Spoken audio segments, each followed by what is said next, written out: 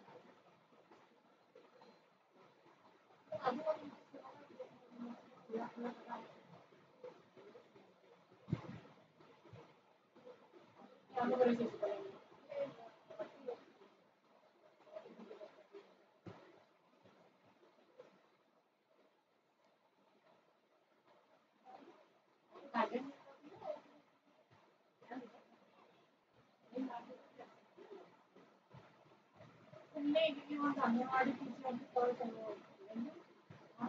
సాక్షరత అంటే కేవలం కలిగిపోతుంది ఇలా గుడ్